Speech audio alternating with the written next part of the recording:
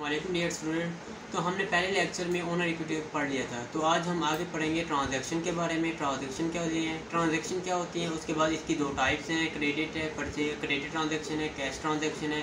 उसके बाद हम परचेज पढ़ेंगे। परचेज क्या होती है? इसकी भी दो टाइप्स होती है। एक कैश कैश परचेज है और दूसरी है क्रेडिट परचेज और फिर उसके बाद हम पढ़ेंगे उसके बाद हम पढ़ेंगे मर्चेंडाइज और गुड्स ये क्या चीज़ होती है? इसके बारे में आपको एक्सप्लेन करूँगा, उसके बाद हम सेल पढ़ेंगे सेल के बाद हम पढ़ लेंगे। सेल की भी दो टाइप्स हैं सेल कैश सेल है और क्रेडिट सेल ट्रांजैक्शन के बारे में बता दूँ कि होती क्या कैश ट्रांजैक्शन मेन आपने एक कारोबार है, आपका कारोबार है जनरल स्टोर है फॉर एग्जांपल अब उसमें आप एक कस्टमर आए आपसे वो डिमांड करे चीज़ मांग रहा है, कोई चीज़ उसकी डिमांड है, आपने उसे वो चीज़ दे दी है और उसने आपको उसके बदले में आपको कैश दे रहा है तो इसे कैश ट्रांजैक्शन कहेंगे।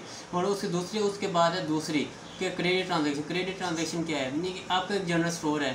अब उसने आपसे वो चीज़ डिमांड की है कि आपने उससे वो दी, आपने उसे वो चीज़ दे दी है जो उसने डिमांड की। लेकिन उसने कहा है कि मैं आपको इसकी अदायगी बाद में करूँगा, कि फ्यूचर डेट में बाद में कर दूँगा। आपको डेट बताएगा कि मैं इस डेट तक आपको पैसे इसके अदा कर दूँगा। तो इसे क्रेडिट क्रेडिट ट्रांजेक्शन कहते हैं। इसका मायने भी है क्रेडिट का मीनिंग है उधार और कैश का मीनिंग है नग तो उसके बाद हम पढ़ेंगे परचेज़ के बारे में परचेज़ क्या होती है? तो हम परचेज़ के बारे में पढ़ लेंगे परचेज़ होती है? पहले मैं आपको इसकी डेफिनेशन के बारे में बता दूँ उसके बाद मैं आपको बताऊँगा इसके बारे में मज़ीद एक्सप्लेन कर दूँगा। तो परचेज़ की definition the cost of merchandise both for the purpose of resale is called purchase purchase कहलाती है। अब इसकी दो टाइप तो मैंने वो परचेज़ की डेफिनेशन बता दी है तो इसके बारे में मज़ीद एक्सप्लेन कर दूँ पर आपने कोई कारोबार शुरू किया हुआ है। तो आप उस कारोबार के लिए वो चीज़ें लेकर आएँगे ताकि आपने आगे बेचनी है। मिसाल फॉर एग्जांपल कि आपका जनरल स्टोर है। आपने जनरल स्टोर तो खोला है, लेकिन उसके लिए चीज़ें भी डिमांड है ना कि चीज़ें आप लेके आएँगे, उसके बाद आप बेचेंगे ना आगे। तो इसके लिए आप वो चीज़ें लेंगे, जो जो उसकी ज़रूरत है जनरल स्टोर में जो चीज़ें चाहिए होती हैं, आप वो चीज़ें लेके आएँगे और वही सेम उसमें कोई चेंजिंग नहीं होती। वही सेम आप आगे बेचेंगे, आप कस्टमर को बेचेंगे तो उससे हम परचेज करेंगे। ये परचेज कहा जाता है इसको। अब इसके आगे दो टाइप्स हैं कैश परचेज है क्रेडिट परचेज है। फॉर एग्जांपल आपने चीज़ें ली हैं किसी से सप्लायर से आपने चीज़ें ली हैं, लेकिन उससे आपने चीज़ें जो ले ली हैं, लेकिन आपने उसे कैश आपने उसे चीज़ें सारी ली हैं, लेकिन आपने उसे कैश अदाई की है, नकद उसने उसी वक्त आपने उसे पेमेंट कर दिया जितनी चीज़ आपने ली उसकी आपने उसी वक्त पेमेंट की है तो इसे कैश कह देंगे। लेकिन जब उसके क्रेडिट परचेज क्या होती है? लेकिन क्रेडिट परचेज ये है कि आपने चीज़ें ले ली हैं सारी, जिससे आपकी डिमांड थी, आपने वो ली है, लेकिन आपने उसकी अदायगी नहीं की, आपने उसे कहा कि फ्यूचर डेट बता दी है कि मैं आपको इस डेट तक आपको इस चीज़ की अदायगी कर दूँगा। तो ये क्रेडिट परचेज कहलाती है। तो हम उससे पहले आप पढ़ते हैं मर्चेंडाइज के बारे में। मर्चेंडाइज और गुड्स होती क्या हैं? तो मैं आपको पहले इसकी डेफिनेशन बता देता हूँ कि ये होती क्या है फिर उसके बाद आपको मज़ीद एक्सप्लेन कर दूँगा। तो इसकी definition the things purchase for the purpose of resale in same condition are called merchandise ये मर्चेंडाइज कहलाती है। तो मैंने अब मर्चेंडाइज की डेफिनेशन आपको बता दी है लेकिन आपके बाद इसके बारे में आपको मज़ीद एक्सप्लेन कर दूँ मर्चेंडाइज होती क्या चीज़। है फॉर एग्ज़ाम्पल आपने कोई कारोबार शुरू किया हुआ है। आपका फर्नीचर का कारोबार है, यूँ समझ लें। आपने फर्नीचर के कारोबार, आप वही फर्नीचर से बना बना नहीं रहे प्रोडक्ट मैन्युफैक्चरिंग नहीं कर रहे। आप सेम वो ख़रीद के ले आ रहे हैं। आपने ख़रीदा किसी दुकान से। आपके बड़े जो होते हैं स्टोर होते हैं, उनसे आपने ख़रीदा है। वही आप आगे, वही सेम कंडीशन में उसमें जैसे ख़रीदा है, वैसे ही आप आगे फ़रोख्त कर रहे हैं तो वो आपकी मर्चेंडाइज कहलाएँगे। अगर फॉर एग्जांपल अगर आपके पास फर्नीचर की शॉप है, लेकिन आप वो फर्नीचर बना रहे हैं मैन्युफैक्चरिंग कर रहे हैं मैन्युफैक्चर करके आगे बेच रहे हैं तो ये परचेज में नहीं आएगी, ये मर्चेंडाइज में नहीं आएगी।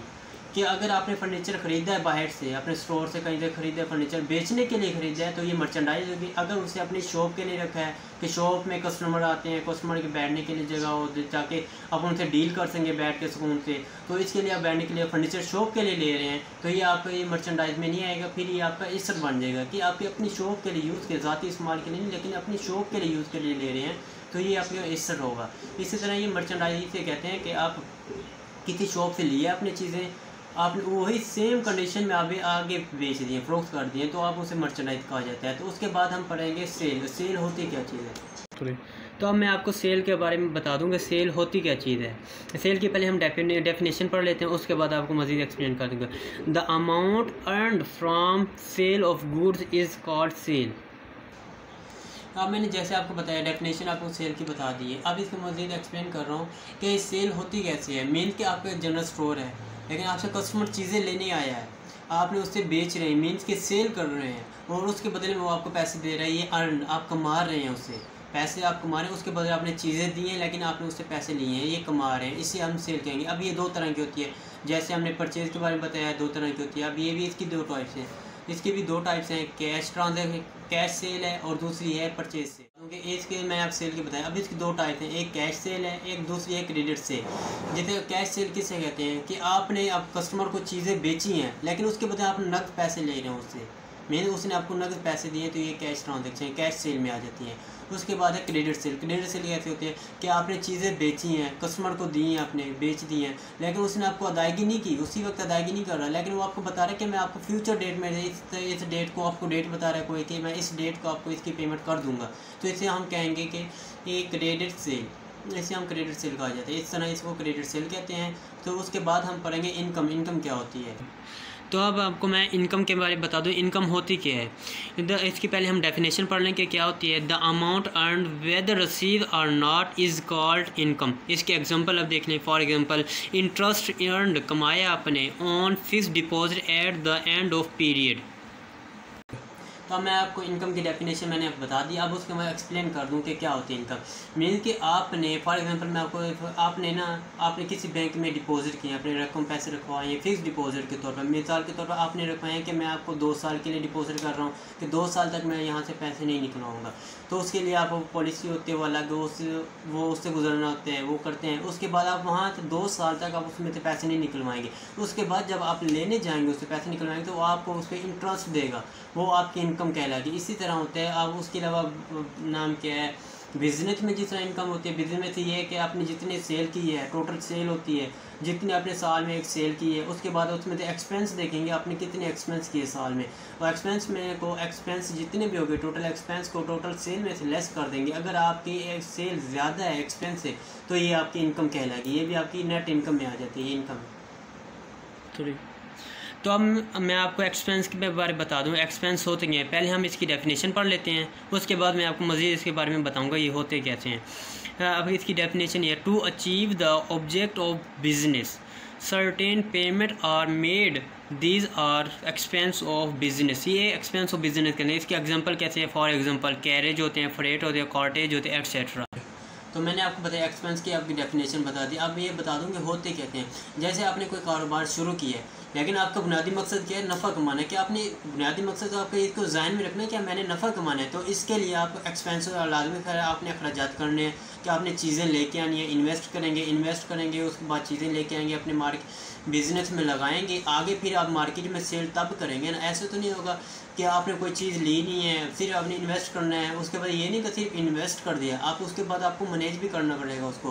कंट्रोल करेंगे, उसको संभालेंगे कि किस तरह चलाया जाएगा कारोबार को, किस तरह चलाऊँ, इसके लिए मैंने प्रॉफिट कमाने के किस तरह मैं ज़्यादा से ज़्यादा प्रॉफिट कमा सकूँ, ये होगा इसका बुनियादी मकसद है।